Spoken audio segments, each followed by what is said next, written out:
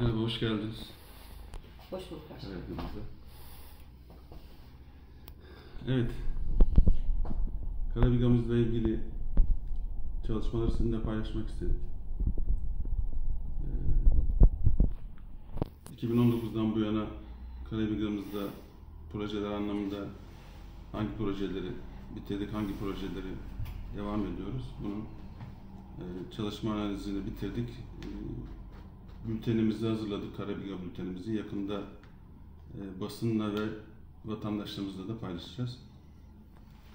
E, tanıtım filmimiz bitti. Tanıtım filmimizden son düzenlemeleri yaptıktan sonra yakın zamanda üç mahallemizde de e, sunumlara başlayacağız. Vatandaşlarımıza da e, yaptıklarımızı paylaşıp anlatacağız. Onun çalışmasını yapıyoruz. Biz bütün e, çalışmalarımıza devam ediyoruz. Biliyorsunuz doğal gazla başladık. Doğalgazın %95'i bitmiş vaziyette. Son gitmeyen iki sokağımız vardı, üç sokağımız vardı. Onları da bitirmek üzereyiz. 72 tane daha ilave kutu konuyor. Yani onunla birlikte Karabigamızda hanelerde yanmayan e, gaz sayısı, konut sayısı kalmayacak inşallah. Onun çabası içerisindeyiz. Ee, Doğalgazla birlikte Karabigamızda konfor değişti. Vatandaşlarımız rahata kavuştu. Ee, Kömür derdi, soba derdi. Özellikle yaşlı vatandaşlarımızın kömür yakması, e, sobayla uğraşması artık bitmiş vaziyette. Toplu konutlarda da vatandaşlarımız artık bir araya gelip bazen kömür almakta bile anlaşamaz durumdaydılar. Onlar da tamamen ortadan kalkmış oldu. Karabigamızın havası temizlendi. Ee, ciddi anlamda bir memnuniyet kazandık doğalgazdan sonra. Biz doğalgazla e, başladığımızda hemen arkasından altyapımızda da büyük sıkıntılarımız vardı Karabiga'da. Özellikle kullanma suyu hatlarımız, kanalizasyon hatlarımız çok ciddi anlamda tıkanıyordu, eskiydi. E, borularımız asbest boru dediğimiz borulardan vardı, kanserojen taşıyan. Onların tamamen hepsinden kurtulduk. Bunu da zaten e, bültenimizde ve tanıtım filmimizde de işlemiş olduk. Şunun farkındayız. Vatandaşlarımızda bir buçuk yıldır yollarda ciddi anlamda sıkıntı veriyoruz. E, çamuruyla, tozuyla hepsinin farkındayız ama e, biraz daha sabretmelerini rica ediyoruz. Şu anda ana arterlerimizi bitirdik. Sokaklarımızda, e, bazı sokaklarımızda da hala parsel ve su hatlarımızın çekimi devam ediyor. Karabigamızda şu ana kadar hiç yağmur suyu hattı yoktu mesela. E, bu projemizde yağmur suyu hattını da e, proje içine dahil edip çekmiş oluyoruz. Bundan sonra artık çarşı merkezde ve bazı alçak yerlerde, kodu düşük yerlerde artık evlerde su basma diye bir şey olmayacak. Çünkü yağmur suları yukarıdan üst mahallelerden gelen yağmur suları artık denizle ve dereyle buluşacak. Tamamen yerin altından götürmüş oluyoruz. Bu konuda da e, artık sona gelmiş vaziyetteyiz. Son birkaç sokakla birlikte artık tamamen bitiriyoruz. Karabigamızda çok eleştiri alan, e, bizi de üzen, hiç beklemediğimiz bir şey oldu çünkü TOKİ sorunu vardı. TOKİ sorununda da ilk biz müracaat ettiğimizde hazinenin yerini e, TOKİ'ye devretmiştik biz projelendirip. Burada Cumhurbaşkanımızın Türkiye genelinde 100 bin konut projesinin içine dahil olduk. Milletvekillerimiz sayesinde, bunların çabasıyla.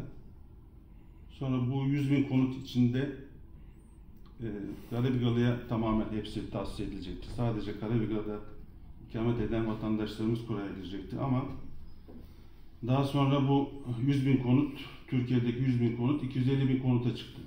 250 bin konuta çıkınca e, buradaki ikamet alanında genişlemiş oldu. Yani Türkiye genelinde nerede TOKİ e, yapılıyorsa bu il bazında olarak e, kuraya dahil olunca bu sefer Karabiga'daki vatandaşlar, vatandaşlarımızın da şansı düşmüş oldu.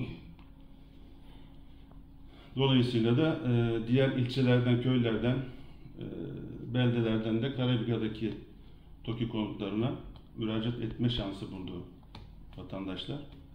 O da 104 konuttan maalesef sadece 3 tane Karabigala'ya çıkmış oldu. Tabii biz de bunu dertlendik. Ne yapabiliriz'e e, arayışı içine girdik. Defalarca Ankara'ya gittik. Vekillerimizle buluştuk. TOKİ daire başkanlarıyla görüştük. Bakanımızla görüştük. Mevcut TOKİ arazisinin içinde iki dönüm belediyemizin yeri vardı. Hizmet alanı. Bunu biz konuta çevirdik meclis kararıyla. Çevirdikten sonra da e, hesaplamalara göre de iki tane blok rahat oturuyor e, bu iki dönümün içine. Bu iki blokta da 50 tane daire çıkıyor. Bu iki tane 50 tane daireyi de sadece e, Karabigalı vatandaşlarımızı kuraya girmek şartıyla onayını aldık. Son gittiğimiz Ankara ziyaretinde Sayın Milletvekilimiz Ayhan Gider'le birlikte bunun onayını sözünü aldık. İnşallah Mart ayı içinde de resmi talepleri toplamaya başlayacağız. Başkanım Karabigalılar için öyle mi bu? Sadece Karabigalı. Sadece Karabigalılar. Bizim derdimiz oydu zaten. Yani ilk kurada az sayıda vatandaşımızla çıkınca biz de bu çok üzüldük. Hiç beklemediğimiz bir şey olunca böyle bir girişime başladık. Çok şükür bunda da başarılı olduk. Sözünü aldık. Artık e, inşallah ev ihtiyacı olanların tüm vatandaşımızla şartları tutan tüm vatandaşlarımıza konu sahibi yapmış olacağız bu durumda. Başkanım e, bir de şunu az önce izledik de düğün salonu müjdesi vereceksiniz zannedersem. Biz de onu soralım. Çünkü Evet. Karabiga'ya bir düğün salonu lazım. İnsanlar bunu istiyorlar. Bunun için neler söyleyeceksiniz? Şimdi biz bunu tanıtım filminde ve e, Karabiga Bülteni dergimizde de yaptık ama daha vatandaşlarımızla çok paylaşmadık. Siz geldiğinizde ilk, ilk basınla sizle paylaşmış olduk. E, belediyemizin karşısında bir sosyal tesisimiz var belediyemize ait. Bunun içinde bir işletmecisi var. E, şu andaki yazlık düğün salonu olarak planladığımız yerde de bir sahne vardı. O sahneyi oradan yıktık zaten. Şu anda kaldırıldı. Restoran ve e, büfeyi, kafeyi oraya alıyoruz. Şu anda kullanılan yeri de yazlık düğün salonu projesi kapsamında e, geliştirmiş olacağız. Burası da güzel Karabük'ümüzün ihtiyacı var. Bu konuda büyük bir yazlık düğün salonu, modern bir düğün salonu ve kafe, restoran oraya uygulamış olacağız inşallah. Bu Eski yazda- düğün salonuna herhangi bir e, tadilat yapılacak mı veya? Eski düğün salonunun oradaki eski bir yapı, 80'li yılların yapısı. e, orasını tamamen kaldırma projemiz var bizim. E, daha düz ayak, kışlık. Mesela Gümüşçay'da yapılmıştı. Evet. Öyle bir düz ayak bir projemiz var. Aynı zamanda bizim otopark olarak kullandığımız çarşı merkezdeki boş bir arazimiz var. Oraya da e, çarşı gibi yapıp, içinde dükkanlarını yapıp, üst tarafı da konutların olduğu belediye binamızı da oraya taşımayı düşünüyoruz. Öyle bir de bir projemiz var. İnşallah önümüzdeki dönem bize nasip olursa bu düşündüğümüz projeleri hayata geçireceğiz. Filmde, izlediğimiz filmde Aqua Park'ı da gördük. Bunun gerçi daha önce müjdesini almıştık sizden ve haberleştirmiştik. Ee, bu ne şeyde şu anda? Aqua Parkı e, biliyorsunuz sadece Çanakkale'de var bu bölgenin Evet. merkezde. Biz de yeni plaj, e, Palmiye plajını biliyorsunuz daha evvel ziyaret etmiştik birlikte. Orada e, yer planladık. Karabük'te da bu bölgemizde özellikle ihtiyaç olduğunu düşündük. Güzel modern bir aqua park bu yaz inşallah sözünü verdik. Vatandaşımıza ve çevredeki tüm vatandaşlarımıza kazandırmış olacağız. Güzel de karşılık buldu bunu sözünü verdikten sonra çok memnuniyetle de karşılandı. Da hayata geçireceğiz biz önümüzdeki dönemde. Peki başkanım işletmeciliğini kendiniz mi yapacaksınız yoksa şahsama ihale mi olacak bu? Aqua Park'ı belediye olarak biz işleteceğiz. Çok Ama e, civarındaki işte plaj işletmesinde normal şahıslar yine devam edecek. Aqua Park'ı belediye olarak biz işleteceğiz. Vatandaşımız ucuz olarak faydalansın. Tekrar aday olacak mısınız başkanım? Tabii hep bunu soruyoruz ama adaysınız. Şimdi şöyle biz Başkan. zaten mevcut belediye başkanıyız. Evet. Tabii doğal adayız. Ee, Teşkilatımız, vekillerimiz, büyük, siyasi büyüklerimiz ne uygun görse biz bir hiç görevden kaçınmayız. Her göreve yapmaya çalışırız. Tabii ki doğal adayız şu durumda. Başkanım bu yolları soruyorlar halk. Ee, yollar e, ne zaman tamamlanacak veya ne zaman bitecek diye bir e, sorular geliyor ama Şimdi tanıtım filmde de az evvel seyrettiniz. Yani Hı hı. ciddi bir altyapı yoğunluğu var. Tabiri caizse Karabiga'nın altın üstüne getirdik. Yani tarihinde bu kadar büyük bir altyapı yatırımı olmadı. O da bize nasip oldu. Dolayısıyla küçük, e, çubuk, e, bitecek projeler değil bunlar. Ama biten yerlerde de zaten biz özellikle otobüs düzergahı dediğimiz hattı, 5 kilometrelik hattı e, şu anda bitirmiş vaziyetteyiz. Bizim kalan sokaklarımız var. Sokaklarda da bu e, kanalizasyonun parsel bacaları ve yeni su hatlarının evlere çıkan saatin arkasına kadar bütün boruları değiştiriyoruz. Hiç yani su hatlarında eski hat diye bir şey kalmıyor. Onları tamamlandıktan sonra artık üst yapıya başlayacağız. Yani bu da önümüzdeki e, Haziran gibi planlıyoruz biz e, tamamen üst yapıya geçmeyi. Bunun da hızlı olsun diye üç ayrı firmaya ihaleye çıkacağız ki Karabiga'nın her bölgesinde üst yapı çalışması başlasın. Bir an evvel de bu tozdan, çamurdan kurtulalım istiyoruz. En az vatandaşlarımız kadar istiyoruz. Yani şunu bilsinler, biz de burada yaşıyoruz. Burada ben ikamet ediyorum. Ee, onlar ne kadar çamura, toza basıyorsa aynı şekilde benim de üstüm batıyor, benim de ayakkabım batıyor, benim de arabam batıyor. Yani onlar ne hangi sıkıntıyı yaşıyorsa aynısını ben de yaşıyorum burada. Bir an evvel biz de kurtulmak istiyoruz. Seçim sürecinize girdiğinizi düşünürsek, e, bununla ilgili çalışmalarınız başladı mı? Gerçi siz normalde ev ziyaretleri, doğum günü falan yapıyorsunuz. Bir de e, pazara ücretsiz servisiniz vardı. O devam ediyor mu hala? Pazara servisimizi ilk geldiğimiz yıllarda başlattık. Hani şunu gördük biz sahada. Mesela Ulucan Mahallesi'nden vatandaşımız ya da Zeytinlik Mahallesi'nden yaşlı vatandaşımız pazar aracını alıp yani 15-20 dakika, yarım saat sürüyor pazara gelmesi. Bu sıkıntıyı gördük. Arkadaşlarla karar verdik. Dedik bir mahalle arasında link yapacak bir araç bulalım. Vatandaşımızı yürütmeyelim. Özellikle yaşlı vatandaşlarımız. Ama şu anda hiç ayırmadan herkes binip e, sık sık çünkü link yapıyor. Herkesi taşımaya gayret ediyoruz bu konuda.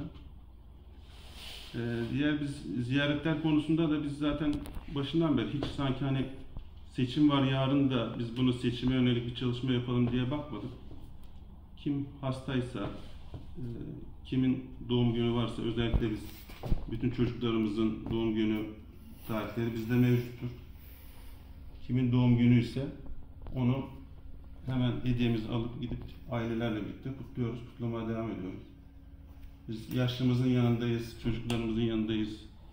Okulda mesela çocuklarımızın ne ihtiyacı varsa karşılamaya gayret ediyoruz. Son çocuklarımıza mesela hepsine bot hediye ettik, hiç ayırmadan. Geçen yıl başarılı olan çocuklarımıza bisiklet vereceğiz dedik. Bu sefer dedik ki hadi başarılı olanlar sevinecek, başarısız olanlar üzülmesin diye hiç ayırmadan tüm öğrencilerimize bisiklet verdik. Bu sene başında da yine sözlerini aldık çocuklarımızdan. Öğretmenlerini dinleyecekler, anne babalarını dinleyecekler, derslerini çalışacaklar diye. Onlar da inşallah e, Haziran'da karne alınırken hepsine birer akıllı saat hediye sözü verdik. Hepsine akıllı saat vereceğiz çocuklarımıza. Çocuklar bizim geleceğimiz. Onları seviyoruz. Onlar Karabiga'nın gülü çiçeği. Başkan bir mesaj geldi şimdi bana da bu e, girişteki evler vardı. Sol tarafta hemen Başak'a gelmeden. Başak Restoran'ın üst tarafındaki Evet. Onlar ne olacak diye soruyorlar. Ona da bir açıklık yapabilir misiniz diyorlar. Şimdi orası tescillenen bir yapı. Anıtlar Kurulu tarafından. Şimdi bizden önceki yönetim e, imar revizyonuna çıkmış. İhalesi yapılmış. E, şehir plancı ile birlikte. Dolayısıyla biz geldiğimizde de ihalesi yapılan işi devam ettirmek istedik. Devam ettirdiğimizde de bütün bu Çanakkale'deki tarımdandır işte diğer kurumlardan da görüş sormak zorundasınız. Görüş sorduğunuzda bunlar için Anıtlar Kurulu da vardı. Anıtlar Kurulu da gelip burada keşif yaptı. Tescillenecek türde bir e, bina, inşaat var mı diye. Bunlar tabi bağımsız kuruluşlar. İşte Türkiye'nin önemli üniversitelerinden hocalar gelip bunu keşif yapabiliyor. Yaptıklarında tescillenecek yerlerin fotoğrafı çekildi. Kurula girdi. Kurulda uygun gördüğü yeri e, tescillemiş oldu. Bunlar da şu anda tescillendik binalar. Çarşı merkezde de var. Bazı vatandaşlarımızın eski depo olarak kullandığı yeri mesela depo kullanıyor, konut değil ama tescillemiş. Şimdi biz bununla ilgili mağdur olan vatandaşlarımızla ilgili e, Ankara'da Kültür Turizm Bakanlığı'na gidip itirazımızı yaptık.